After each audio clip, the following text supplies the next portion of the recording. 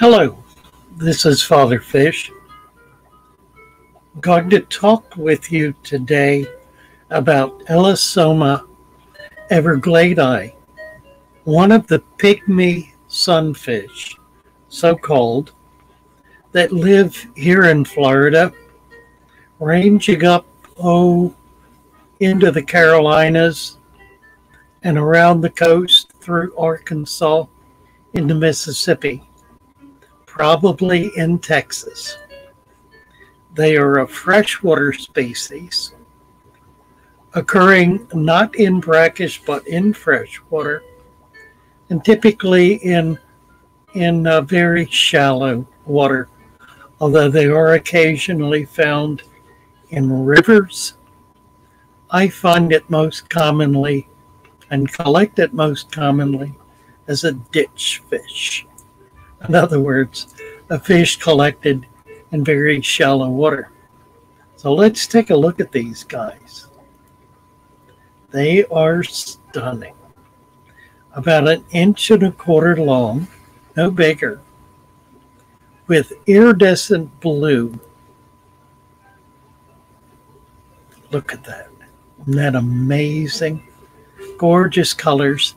The colors uh, vary enormously. All the way from, well, let's look at some of the variations. This is more like what I usually find, I'm afraid to say. But there is just a tremendous variety.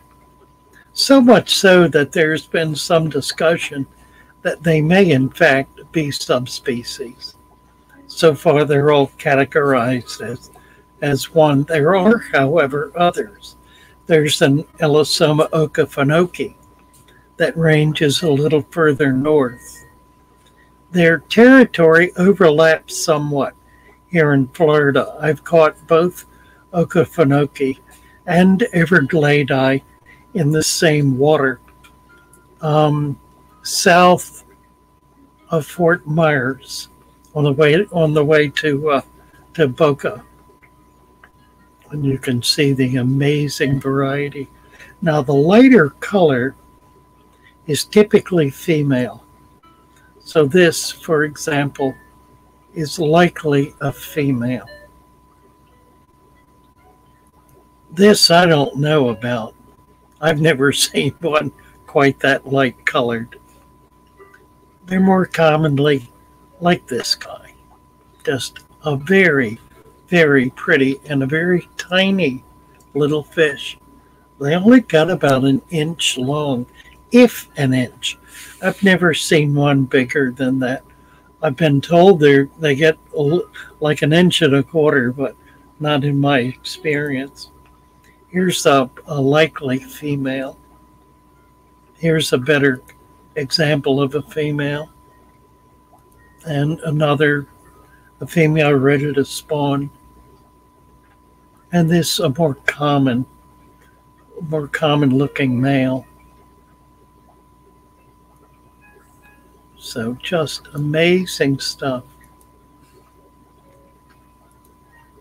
The um, Elassoma evergladei, common name pygmy sunfish.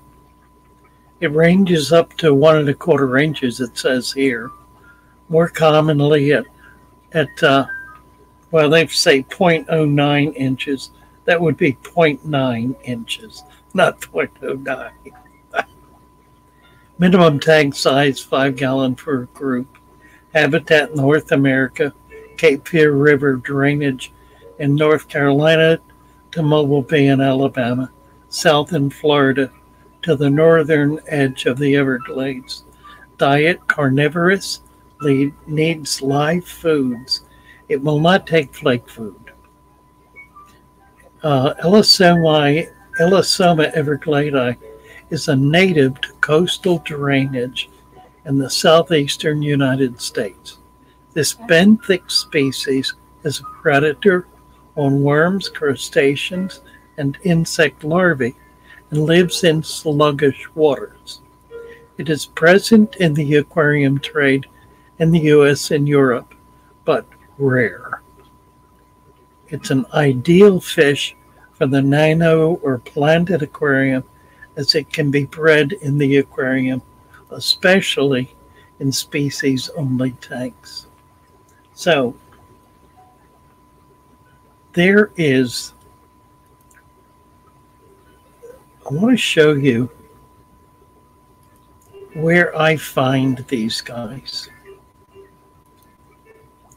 This is a ditch that runs on either side of the road in central Florida, somewhere in central Florida. It is spring fed. You can see the water is flowing. That's what the sparkling is. Uh, this is no deeper than six inches at its depth. This particular spot uh, is spring fed and runs about 200 yards on either side of the road as roadside ditch as a roadside ditch or ditches one on each side. They are basically the same. This one is where the water is flowing in most vigorously. It is more shallow. You can see all the little fish the gambusi formosa and green sailfin mollies primarily swimming in here. Now this is how I collect these guys. I put the net up close to shore, right along the edge of the bank, because they're in the shallowest of water, and then I frighten them into the net. I have a little poker there just splash around with, and then look very carefully to try to find one. And there's a little female. Sure enough, a little brown fish. There she is. That's as tiny as they are. Show you a little more of this collecting technique. You have to look very carefully because they uh, they're not easy to spot usually until you get used to it, and then I can pick the net up know instantly if I have any because their behavior is unique. They flop in a very particular way. Those are little gambusi, probably. What do we got there? Don't know. Let's see. Am I going to show it? I guess not. Probably uh, gambusi. Thought it might have been a Formosa. So again, right up to the edge, splash to frighten them into the net. They dart very quickly. So it's pretty easy to do this. If they're around, you'll get them. This is the technique that I find most most useful, most most effective. And then you have to kind of look through the muck and the grass and the whatnot, see if there's anything in there. There are a lot of little crayfish in this particular spot. There's something hopping around there. Yeah, there he is, sure enough.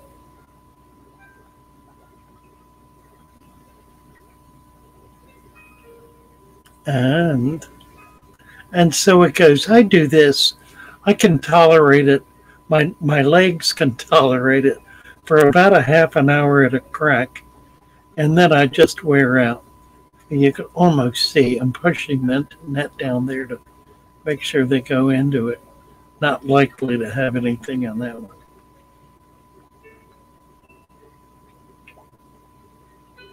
I think I scared them out if they were in there.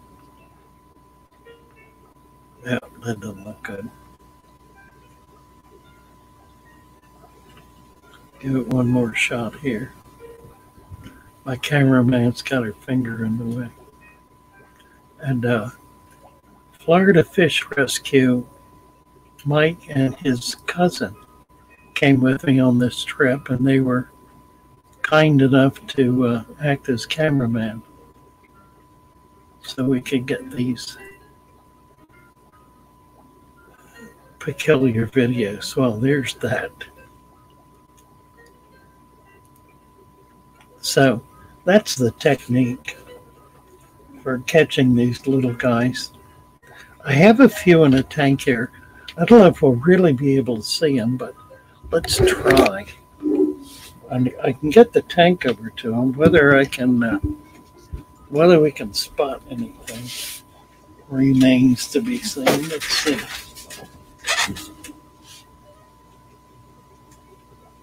I see one right down, right down there. It's not moving. Is. Look, oh, yes, that's a male. And in back of him, about three inches further out, looks like a female. Now he's kind of washed out. There he is. Not colored up. It's not in breeding form.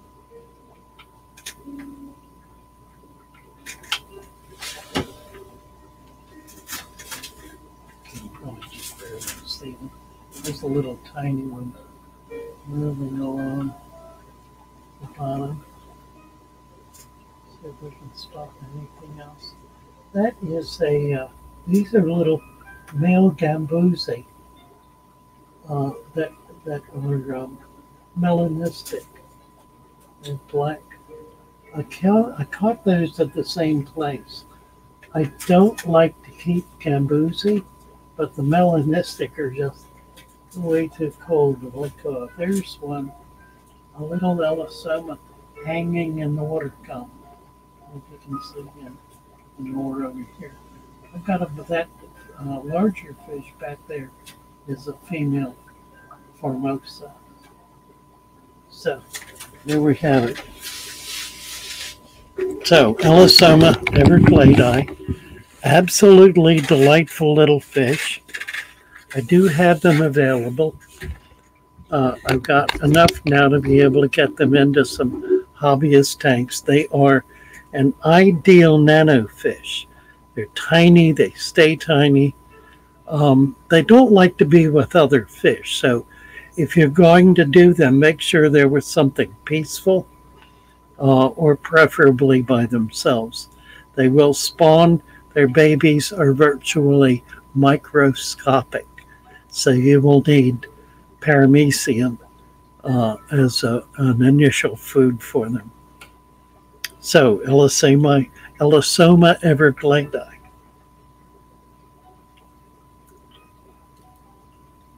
There we go. Thank you very much.